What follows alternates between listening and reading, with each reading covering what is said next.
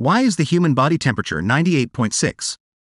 The human body temperature of 98.6 degrees Fahrenheit, 37 degrees Celsius, is a remarkable feat of biological adaptation.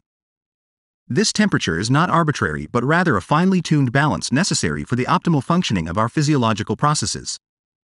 It represents an equilibrium point where various biochemical reactions, enzymatic activities, and metabolic functions operate most efficiently. This temperature range supports the immune system's ability to fight off infections, aids in the efficient transportation of oxygen by hemoglobin, and facilitates the functioning of enzymes critical for digestion and other bodily functions. Deviations from this norm, whether due to fever or hypothermia, can disrupt these essential processes, highlighting the significance of the human body's finely calibrated thermostat in maintaining our health and well being.